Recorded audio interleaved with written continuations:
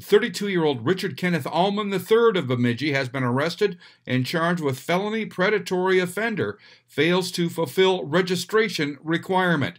According to court documents, he was registered to be living at 24477 Hines Road, but wasn't. Uh, Allman has a conviction on uh, March 29th of 2010 in Clay County for first-degree criminal sexual conduct for sex with a victim who was under the age of 13. I'm Neil Carlson reporting for iNewZ.TV.